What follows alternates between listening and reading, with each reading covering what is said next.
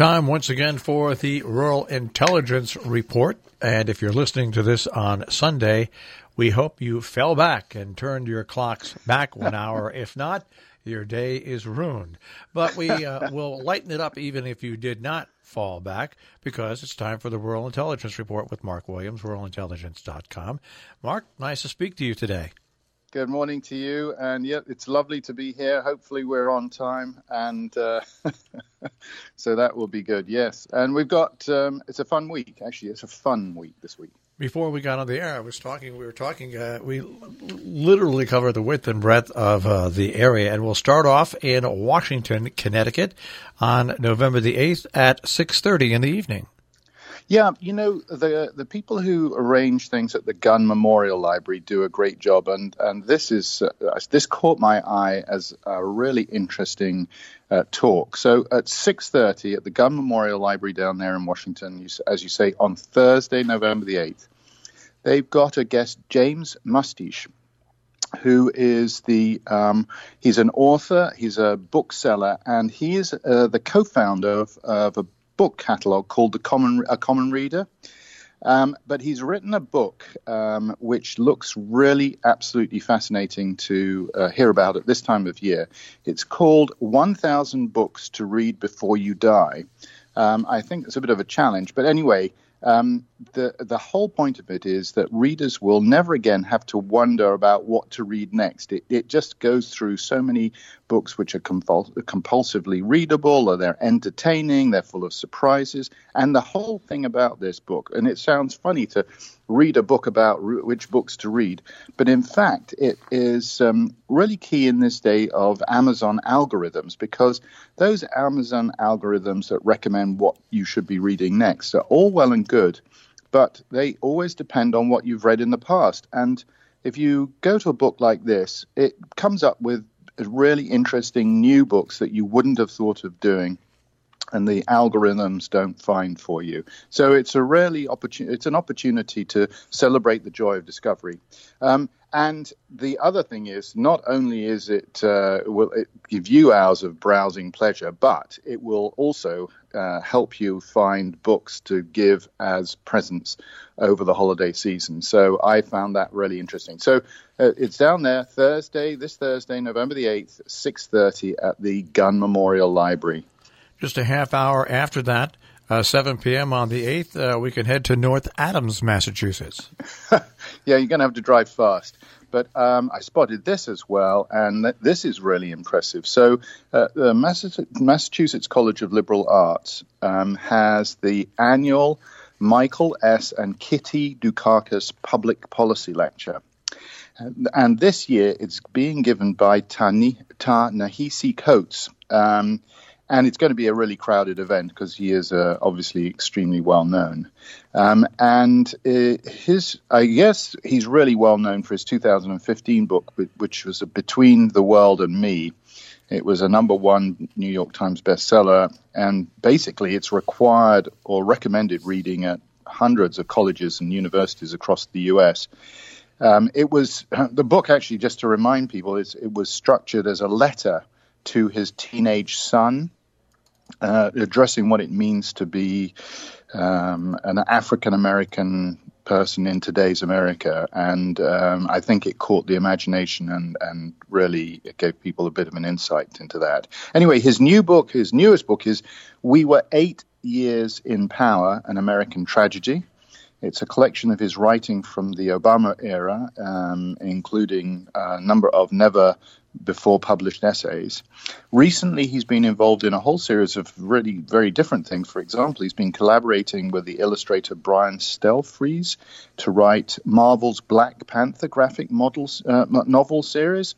Um, in fact, his Black Panther story, A Nation Under Our Feet, was even nominated for a Hugo Award for Best Graphic Story, which seems uh, very different from what he's done in the past. He's also working with an illustrator on the next chapter of Marvel's Captain America. So, um, anyway, the, he's going to be giving this eighth annual Michael and Kitty Dukakis public policy lecture. uh, at MCLA on Thursday, November the eighth, um, and it starts at seven o'clock in the evening. So if you're in, if you like him and you're interested, uh, zip you're on uh, zip up to uh, North Adams to check that out. We'll move on to November 11th. This sounds uh, like a lot of fun, actually. Storyhorse Documentary Theater, and well placed for today. Uh, a one act documentary plays about love at the edge of reason. yeah. Well, it's actually really a local event because it's in Hudson Hall on, uh, in Hudson on um, Friday and it c- continues through November the 11th. So there are various times.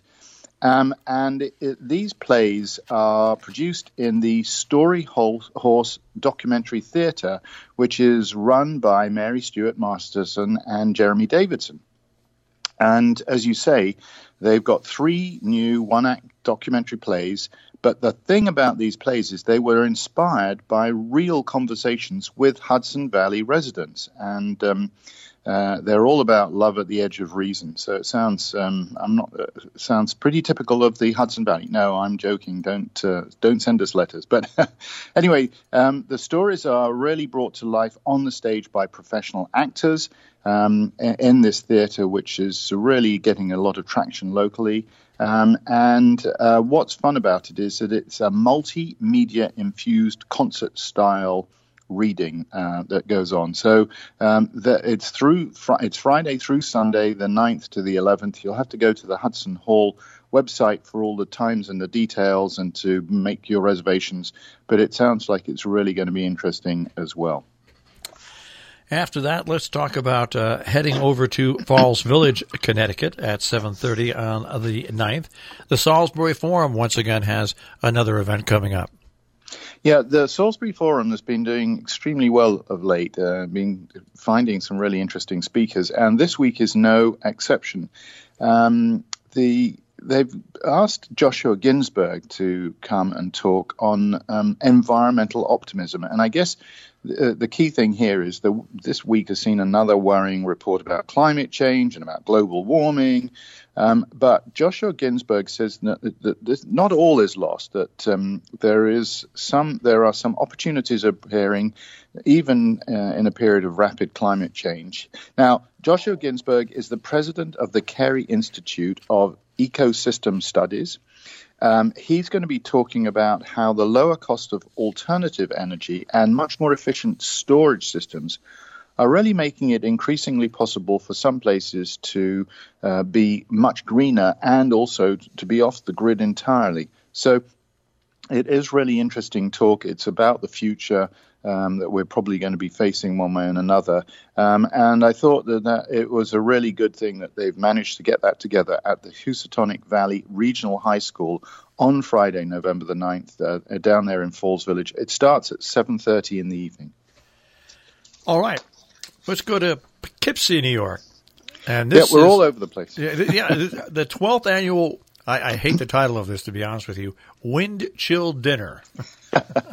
yes, but uh, it's all for a good cause. It, it, really is for a good cause. So the Poughkeepsie Grand Hotel is uh, hosting the river, uh, the Hudson River Housing Company uh, organization, and they are having a dinner and a silent auction to raise funds and awareness um, in support of their programs for the homeless. So uh, it's a really good cause. This year, the keynote speaker is Becca Stevens, who I'd never heard of, but she uh, turns out I did some research, and it turns out she's an author. She's a social justice entrepreneur and the founder and president of Thistle Farms, which is a movement uh, dedicated to supporting women survivors of trafficking and prostitution and addiction as well. So it's really multi. Uh, you know, it's, very active in a whole series of areas. And she has been named a White House Champion of Change. She was a 2016 CNN hero. She's been featured a lot in the New York Times, on ABC World News, and, and BR as well. So, and she has written a book which called Love Heals, um, uh, that was published late uh, 2017. Anyway, Hudson River Housing, as always, is looking for new ways to build sustainable livelihoods through new employment opportunities, which allows people to live in their houses. Um, and they're going to be making some announcements of new opportunities at the dinner as well. So this is an important cause, uh, and it's good to be able to support it. As I say, it's uh, the 12th annual Wind Chill Dinner, and it will be at the Poughkeepsie uh, Grand Hotel on Friday, November the 9th. On November the 10th, Great Barrington and in Lakeville, our good friends at Crescendo are at it again. Yeah, actually, it's a, a November the 10th, and uh, that's the Saturday, and then Sunday, November the 11th. Um, the, it's November the 10th. It's in they're in Great Barrington, and on November the 11th, they're in Lakeville. And as you say, uh, Crescendo has got a concert. It's called "The Sound of the Trumpet." Um, it's also subtitled Celebrating Life in England and New England, so very suitable for us here. Um, it will feature the crescendo chorus.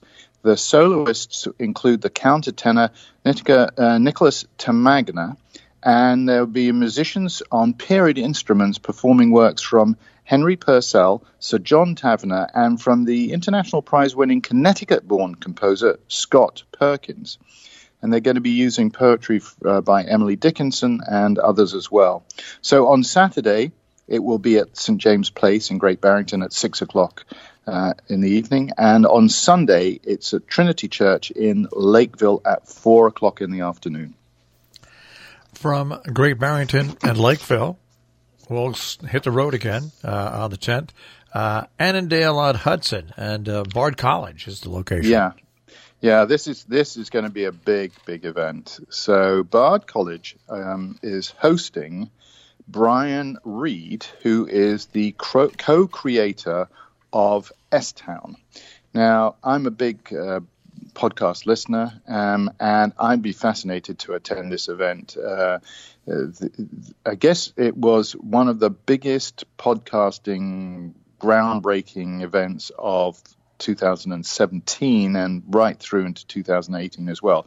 And Brian is going to be discussing how he developed this new, almost entirely new form of storytelling.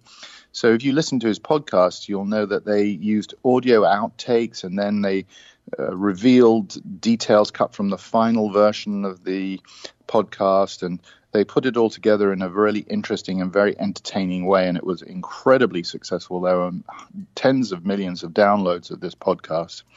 And I think that there will be a lot of people who go to listen to Brian Reed at Bard College. Um, and he is, uh, I think, uh, going to be a, a, really fascinating to hear, particularly as we're involved in podcasting one way and another, Marshall. So uh, will be some opportunities to learn some things. Anyway, the Fisher Center is going to be jam packed for this talk. Um, it's at Bard College at the Fisher Center on Saturday, November the 10th at 7:30 in the evening. Let's go to Pittsfield, Massachusetts on the 10th. The Food for Thought dinner. Yeah, um, this is uh, another event where I better put things in context um, because I want listeners to know that Rural Intelligence is one of the sponsors of the of this event.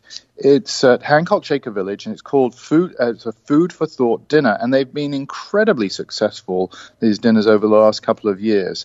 Um, and basically, just to remind you, what happens is uh, attendees get to enjoy a farm to table dinner uh, with a well known author talking. You get uh, wine and um, a copy of the book included in the price of this whole event. Um, and this week it's the National Book Award and Pulitzer Prize winner Andrea Barrett, who is the author of a new story collection called Archangel.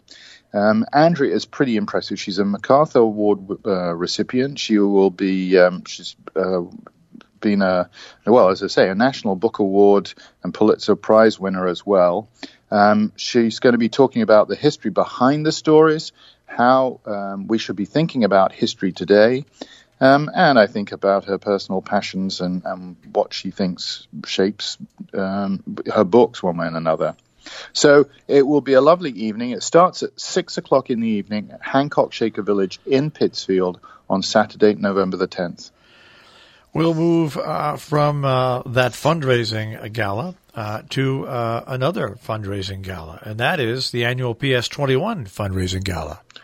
Yep, this one's going to be very different from their previous uh, fundraisers, um, and it's going to be a wonderful celebration because PS21 in Chatham uh, had their inaugural season in their new theatre this year.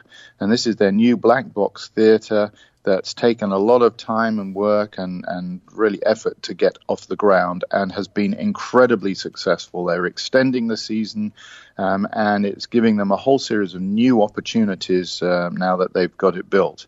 Um, and the fund, so this fundraising gala is going to be really key. It starts at six o'clock in the evening, um, and they're going to have a whole series of performances by PS21 audience favorites. So the Bang Group will be back. They're a really amazing percussive dance company. Um, they're going to be demonstrations by student participants of the PS21's West African Drumming Workshop with the Jamal Jackson Dance Company uh, dancing as well. Um, there's going to be a lot. Uh, there'll be drinks and all sorts of hors d'oeuvres, um, and there'll be going to be tastings from the Old York Farm Distillery. It's going to be a silent auction, all sorts of one of the kind uh, items and experiences there on the silent auction. So it's a good event. It's a lovely uh, time to celebrate what PS21 has done this year, and that's on Saturday evening, November the 10th. It starts at six o'clock in the evening, actually at their new Black Box Theatre in Chatham. Well, we're not done on November 10th by a long shot. As a matter of fact, let's go disturb the peace in Old Chatham, New York. Yeah, just up the street. I, this is very different, um, and it's very different from the sort of thing you know we normally talk about. But I spotted it, and We've talked about the Quake. The Old Chatham Quakers are quite active, um, and we don't normally talk about the, them in, in sort of talks like this. Um, but it's nice to see them, and so I thought I'd sort of give them a bit of a shout out because they're actually showing a film which is called, as you say, "Disturbing the Peace." And it sounds like it's a really interesting film, and it fits with the Quaker philosophy. Um, the film follows former enemy combatants, both Israeli soldiers from elite units as well as Palestinian fighters, many of whom have apparently served years in prison. And these people have joined together to challenge the status quo and say, you know, enough is enough. Uh, we should change the way we're handling these problems.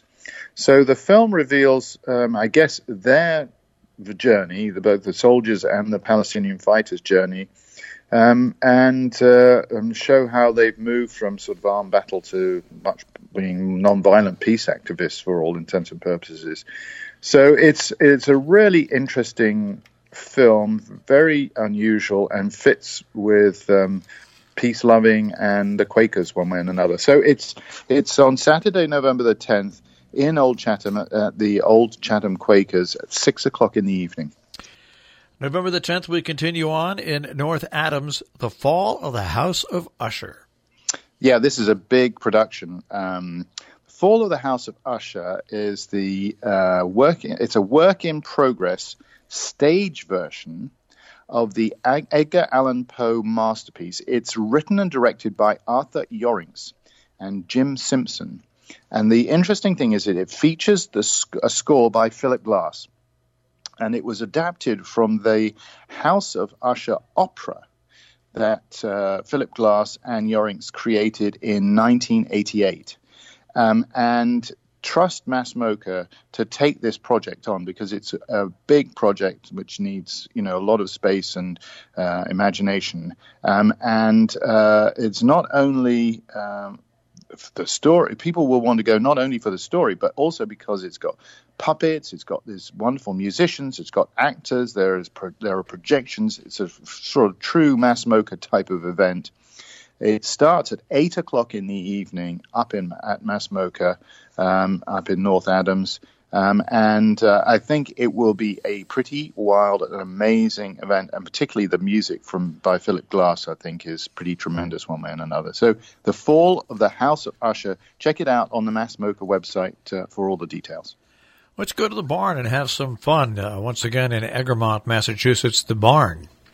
Yeah, they're doing really well at the barn, and um, on Saturday they have Mary Lorson coming Um, and she is really well known because she's a composer. She's a she plays the uh, guitar. She's a pianist. She is writing more. She's singing.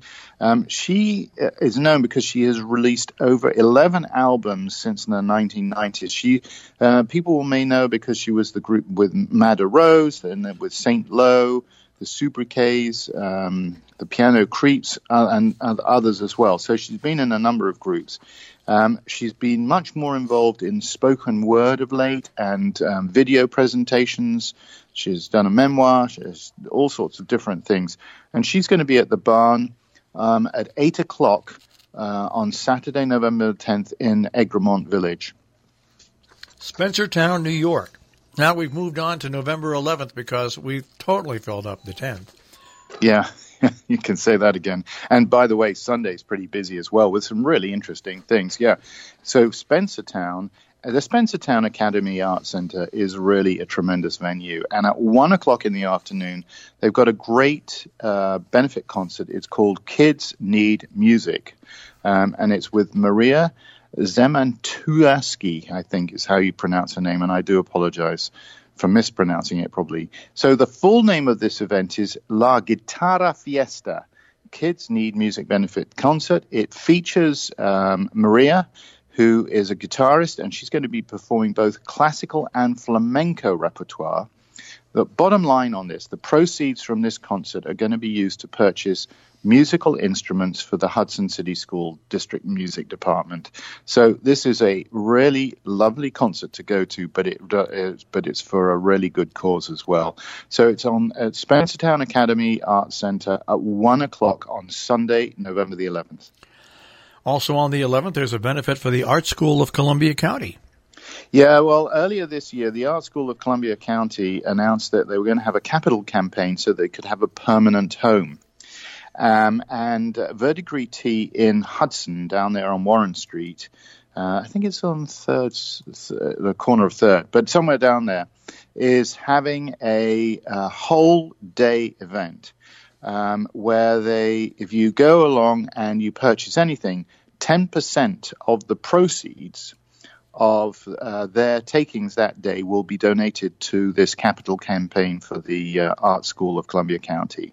Um, and by the way, so you can go along and enjoy a cup of tea or a pot of tea or two, uh, of, uh, and some scones or some hot chocolate. They have a whole series of things, but they also have a good selection of gifts. So it may be an excuse to go out and get a gift one way and another, maybe a teapot or some linens or some specialty products. Um, the other nice thing is that the Art School of Columbia County will be in the store all day as well, and they're selling some limited edition note card sets. Um, and these will be um, of course, 100% of the proceeds of those will be going to the capital campaign. So, this is an opportunity if you're wandering around uh, Hudson on Sunday, the 11th, doing your shopping and checking out what's going on in Hudson. If you pop into Verdigris Tea, you can uh, pick something up, and 10% of the proceeds will be uh, for a good cause. That uh, starts at 10 o'clock, and they open at 10 o'clock in the morning, and they close 6 o'clock in the evening on the 11th, uh, 3 o'clock in the afternoon, in West Stockbridge, Massachusetts.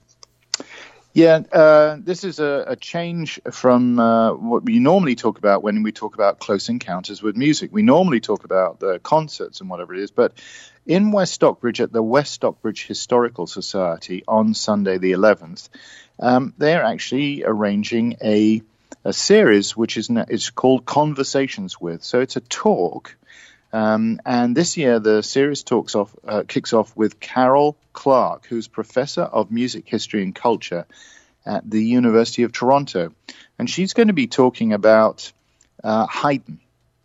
And it's called the talk is called "Considering the Legacy of Haydn." Um, and she's going to be talking about the breadth and the greatness of Haydn's oeuvre, as I guess you call it. His sacred, you know, he goes everything from sacred music to comic operas. Obviously, there's a whole lot of quartets and symphonies. Um, uh, and uh, he also was well able to look at the changing social activities and cultural activity, political spheres in which he really was working at the time. So, uh, really, it could be a really interesting talk about Haydn um, who uh, really I don't know an awful lot about. So it's a good excuse to learn something. That's at the West Stockbridge Historical Society, 3 o'clock in the afternoon on Sunday, November the 11th. And uh, then I guess we can uh, wrap things up in Poughkeepsie. Yeah, yeah. And this is uh, a really fascinating, a complete change from everything else we've talked about this week. Um, I don't know the Locust Grove estate, but it sounds like it's going to be interesting because you get to meet a cheetah ambassador at the Locust Grove estate at two, uh, between two o'clock and six o'clock in the evening on Sunday, November the 11th. Um, and it sounds sort of really strange, but apparently Brian Badger, who is the director of conservation and outreach for the Cheetah Conservation Fund, uh, which works, I think, very closely with the Columbus Zoo. Anyway, they are going to be bringing an ambassador cheetah um, and going to be giving a talk and uh, demonstration um, uh, about this endangered cat, uh, these cats, and and um, and he's going to be talking about uh, the Cheetah Convers- Cons- Conservation Fund and what it's going to be doing worldwide, really, to help this endangered cat. Um, he is uh, I guess there's you get an opportunity to really see this cheetah really up uh, really close, uh, and, and so I think that will be fascinating in its own right. They are going to have a live and silent auction as well. And they're going to be all sorts of hors d'oeuvres. So uh, check out the full details. You can get there via Rural Intelligence. As I say, it's Sunday, November the 11th. Starts at 2 o'clock in the afternoon, but it runs for a little while. Um, and of course, they're serving hors d'oeuvres. And I thought to myself, well, of course, if the cheetah gets out, you're going to have to start to run really fast, or you could end up as one of the hors d'oeuvres yourself uh, for the cheetah. No, it sounds like a fun afternoon. Sunday, November the 11th. I think more of a main course. For me, it would be anyway. All right, that is a look at some of the events going on. You'll find much, much more every day of the week. RuralIntelligence.com. Mark, we'll speak to you next week. Lovely. Thanks very much, Marshall. Speak to you soon.